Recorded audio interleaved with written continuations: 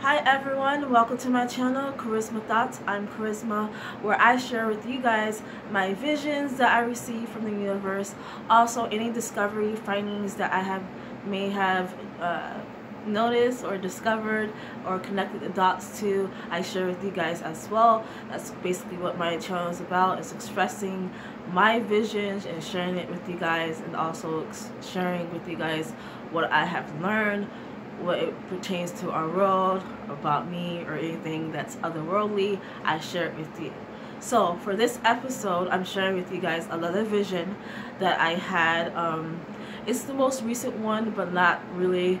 Um, I was supposed to been share this with you guys, but I've been sharing with you guys uh, a finding or a discovery I came up, came to, or basically came to me actually uh, about Homo sapiens are genetically modified mutations evolved species of the animal kingdom and we're going to continue on evolving. I'm basically breaking that into parts but that's going to be a separate series that I should share on my channel as well but for today I'm just going to keep on sharing with you guys my visions and keep on with the process and I named this series um, you know my sharing my vision what the fuck did I just see and what does it all mean. Right now we're just solely focusing on what the fuck did I just see because I'm still trying to figure out the meaning of all of, all of it and so far, so far on, on that. Um, so this dream or vision that I had was I think it was like a week ago that's like the latest that I had this vision but it was about Pocahontas and I don't remember every detail. You guys know I don't see my vision from beginning to end. I just see glimpses of what I need to know at that particular moment. Um, in this particular moment, there was a lot of a lot of things going on. I saw animals being experimented on. Like there was two like it was just, like I don't know where I was. This is obviously the future that I noticed that I was. This is the future timeline. Um, but I saw that they were experimenting on animals, so they were combining two different species together, and they were in pain. Like it was not effective. It was a failed experience, experiment in my opinion, because they were in pain. They were like literally um, hurting, and I could like feel them and hear them. So it's kind of like weird, but I saw that, and I was telling people what I saw of what they were doing. Uh, mind you, guys, I don't know where I'm at. Some type of facility. I don't know where. This is the future timeline. Um, but I was telling people that I was around about what was, what was going on, but no one believed me. They didn't take me seriously. So okay, whatever. And then there was another part, like the same vision, but it, it shifted to a different part of adults having sexual relations with children. And mind you, the children don't know what's right or wrong. Like the children don't they don't understand. So this is not the first time I had a vision about that but I just didn't understand what that was all about. But I was telling people what the fuck was going on with that as well. And mind you, no one believed me. Until they saw it for themselves and then that's when they, you know.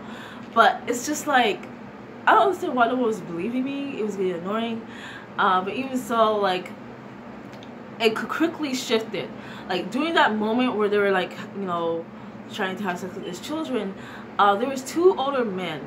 I don't know who these men are, um, but they're looking at me and they were trying to come after me, trying to hurt me. And that's basically what I saw with that. Then we went outside. I was outside and there was, I'm like observing a group of people. There was a one man that I saw and I guess he was in love with me or something. I, mind you guys, I don't know who this man is. Again, this is the feature and there was this other dude that I guess I know him, he know me, or he know of me, I don't know. But he basically he was telling this man like no, um, he's like no, you can't love her, she's married. He said he said you can't love her, she's married, and he mentioned Kocoum from Pocahontas. He said he's not just an Indian man, he's a goddess. I'm like I'm a goddess. I thought he was like a god or something. But um, like, wouldn't it be God because he's like a male? But like they said no, they say goddess. So I don't know what that was about. Um, and then it shifted to me. Mind you, I I, I kind of like, I don't like it's me, but like my personality is completely different in the future. Just just to say that, and like more like I don't know. But I saw me, and then he, they basically the same group of people came up to me. There's like, oh, you're a Pocahontas I'm like, what? Pocahontas. I like, what did Pocahontas have to do with anything? I'm like, I was like, what? This is that's the past life that you lived. You was Pocahontas. I'm like, okay. And I was like, okay. There's so many dreams of people telling me I'm this, I'm that. So it's like at this point, it's like, okay, I'm not gonna know anything until I gain my mem memories and remember who I am. So I'm just taking it a grain of salt. But apparently, I had a past life as being Pocahontas. But um, after that vision, I woke up mind you you guys it was just a lot going on with minor details and bigger details that really opened my eyes you know what does the experiment with the animals and then it shifted to people having sex with children and then it shifted to Pocahontas and, and about Kocoum like the love interest in the movie Pocahontas that I know of his name. So I'm like it was a lot going on and so little details at the same time. It was such a weird vision it was very vivid. Um, I feel like it's the future timeline where that's going to happen, where it's going to come to fruition, basically. Very interesting, very weird, and some of the stuff I just got, did not want to see, but I still see them. Like I, I don't get to choose what I see. Sometimes I see I see the darkest shit. Sometimes I see the good shit. Sometimes I don't. Sometimes I just see things that pertains to me that's very traumatic, and I don't want to see it, but I see it. So it's just a lot. That's basically what the vision that I saw was. I know it's not a lot to go on. In, imagine me, um, because it was just glimpses of each of these scenarios that I saw of you know the experiment, these two men that was trying to come after me, and then the, the, the adult having sex with children. Like I had so many visions like that. Like one of them was about royals. Like it was like but these warriors were like they were black warriors of some kind, and they it's like a cultural thing that they do to keep their bloodline intact. I still didn't like what I saw. So that and then this one was not nothing with bloodline or anything like this. This was something different, and I don't know what they were trying to do. What was the purpose of having sex with these children? I don't think it was just because like they were pedophiles. I think it was something more to it on why they were trying to do it. I think it's some type of experiment they were doing with that but it was still disgusting to see disgusting in general. I don't like that. Um, and then it shifted to me being outside dark a man who's apparently in love with me. I don't know who this man is. Um, who i don't know who this man is supposed to represent and who this other dude was who was speaking on my, my, behalf who know me. This is not the first time i saw this dude. He comes in my vision once in a while and apparently he knows me and or know know of me or something like know who I am. Imagine you guys, I don't remember who I am, but none of us do really, especially if you're chosen, you don't remember who you are. Um, so I'm just trying to gain my memories to figure out what all this means. But other than that, it was just a lot going on. But what I gather is to look deeper into Pocahontas. So I'm like, okay, let me look deeper. So I went back and watched the movie Pocahontas. The first one. I didn't watch the second one. But I remember when I was a child, I used to be... That's one of my favorite uh, Disney movie. but my favorite, favorite Disney movie is Tarzan. But my close second would be Pocahontas and then Lion King. But those are my three top threes. it was always Tarzan, and then it was Pocahontas, and then it was uh, Lion King.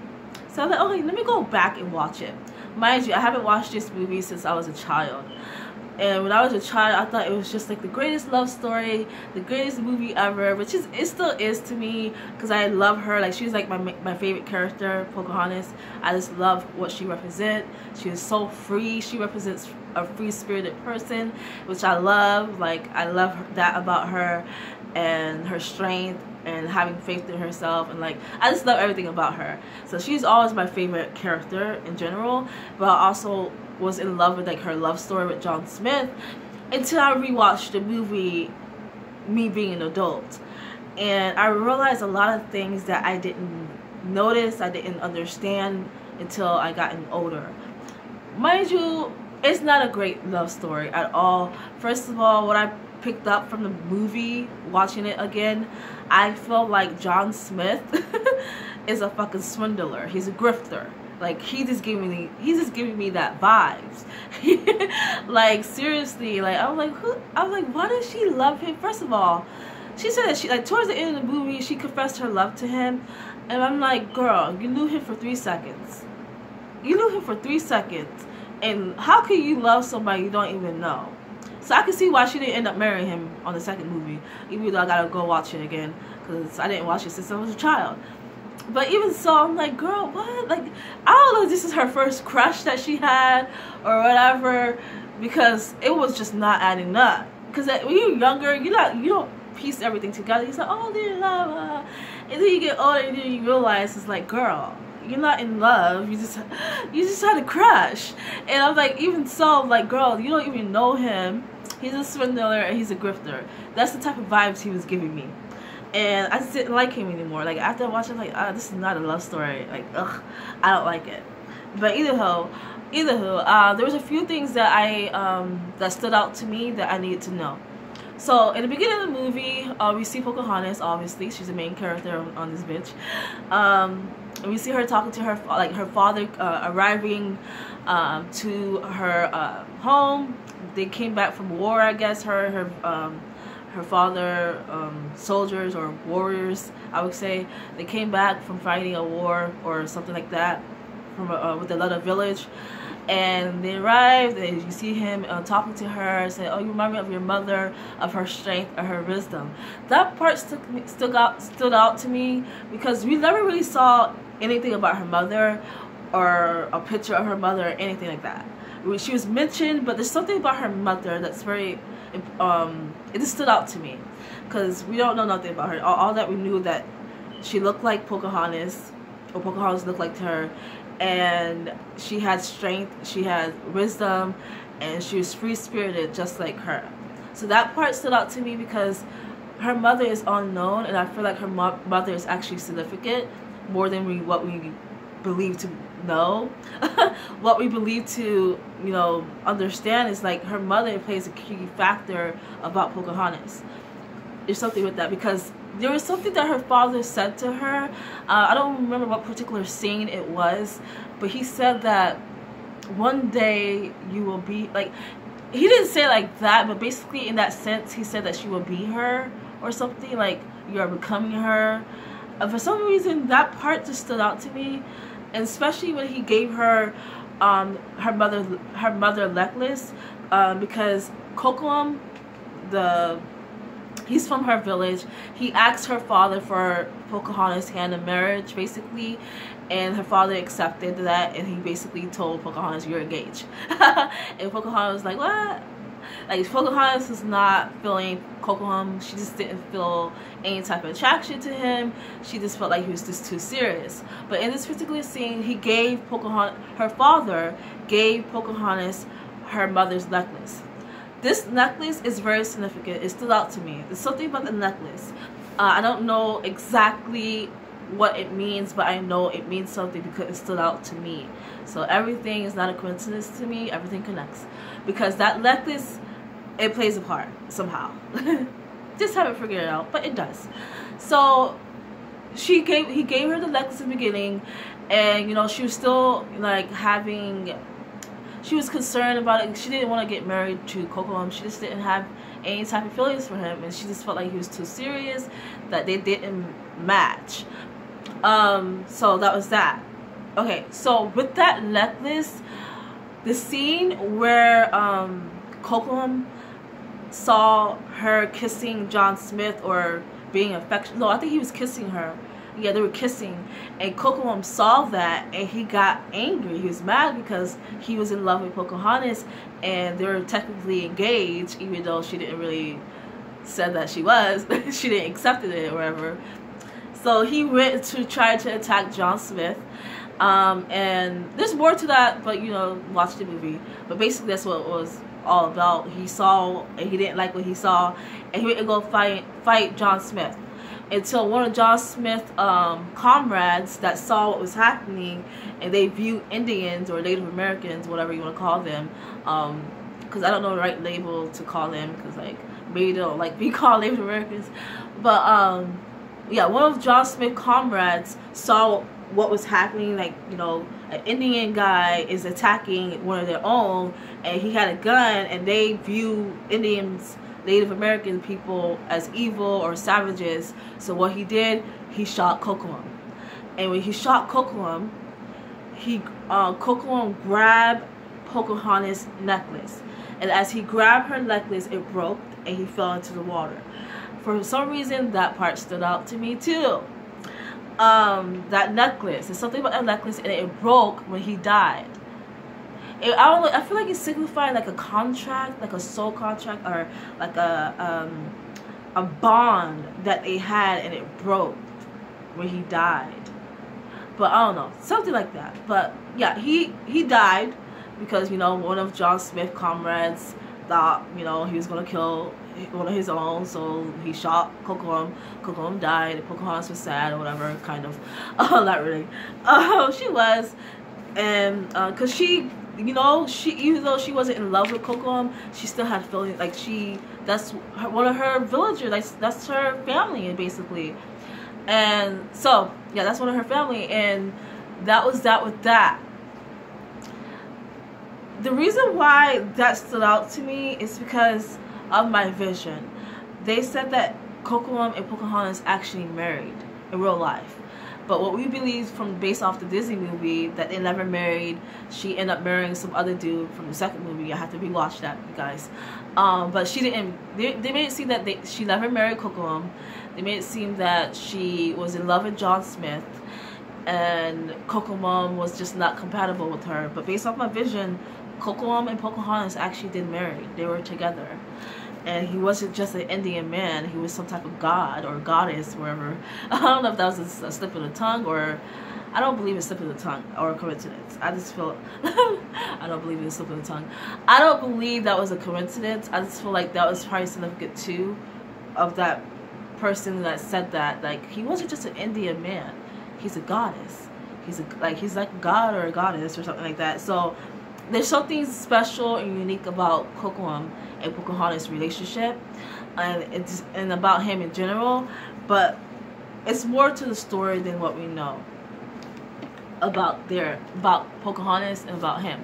But that necklace, I feel like it, it signified a bond or a contract or something. It's something that ties them together because when he died, he grabbed the necklace because like he wasn't trying to grab like he wasn't you know trying to break the electric as he died. It was just something that he was holding like he was falling and he just falling onto it. Like you know how you about to like fall and you try to like hurry up like to get up? It was something like that moment.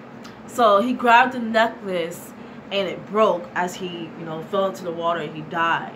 So that signified that their bond was broken or something in that sense or something like that. Something broke. Um based off the movie. Uh, if we're going based off the movie but in real life we don't really know what really happened. Even though there are um, videos out there that says this happened that happened because I have done my research about Pocahontas apparently they said that she was actually 14 um, at the time when John Smith and these people came to her um, so that's that version and there's another version of her marrying some other I don't know like they said that she was the first mother or the first I think they said that she was the first mother or the first woman for something. Uh, one of the research video I saw, but as I know, learn more, I will share more on the update version to this vision. But basically, that part stood out to me. I just didn't clarify what that meant in the movie. So that, and also there's another part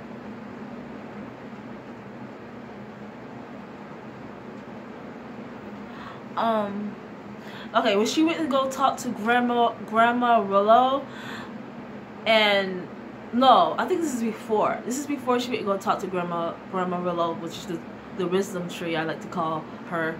Um she was asking for guidance when it came to marrying um Kocoum because she was just conflicted like she didn't she, she felt like it was a duty of her to marry him and then another part of her was not in love with her. She wanted to follow her own heart. She wanted to follow her heart because she wasn't in love with him based off the movie. And she was you know singing a song. Uh, what was the song? What song was it? Yeah I don't remember the, song, exact song. It wasn't Color of the Wind. I think it was the two path song like what is it called? oh how it goes. I wish I could okay you guys. Um, once I find it I will link it down below. But anyways she was singing that song and she was by the river singing you know you know how that scene goes. And she touched the water. As she was touching the water it did no, that scene was actually when she spoke to Grandma Willow. That was yeah, she was actually speaking to Grandma Willow about asking for guidance on what she should what she should do, and she was saying that her dad her dad said that Kocoum asked her to marry her and that like she's not in love with him. And what she, and she was just asking Grandma Willow for guidance, and Grandma Willow just actually told her something about like the ripple effect when she touched the water like it did like a little ripple thing she said everything has to okay that scene stood out to me too because something about the ripple effect there are certain things that must I don't know, there's something about that because not only does it signify my life, because you guys, everything connects. Because I go back to like, I look at every detail in my life apparently because I realized something. My elementary school, our mascot was the bald eagle, which represents feminine feminine uh, feminine energy. My middle school mascot was um, Ripple Effect, the dolphin, Ripple Effect. And the third one, uh, my high school mascot was um, Wolfpack which I told you guys before, I mentioned this in one of my visions, there's something about wolves, werewolves, because um, I actually had a vision about me, you know, shaping shifting into a wolf. Um, so there's something about that too. So it's like everything connects. So that scene when I saw her asking her for guidance and she touched her hand into the water and did like, it did like a ripple effect. It reminded me of my school mascot. Um, when I was in middle school, it says. That's our that's that's our phrase. That's our saying is ripple effect, and our mascot is the dolphin. So I don't know. Something about that too signifies something as well. Um, all everything must happen a certain way. Is a is is creating a ripple effect. It's creating. It all connects basically. When I saw that, it means everything connects and somehow. I just don't know exactly in what way once I find out, I will share with you guys on the update version. But that's basically what I gathered from the movie as well from my vision. But I just wanted to share with you guys what I saw or what happened in my vision, I should say. But again, what the fuck did I just see? I don't know. There's just a lot going on. But I appreciate you guys, you know, tuning in to this episode. Um, let's you know video I upload I'm going to continue on the process of breaking down my discovery of homo sapiens and all that. So thank you guys. See you guys next time. And you know subscribe like comment down below your thoughts. And see you guys next time. Bye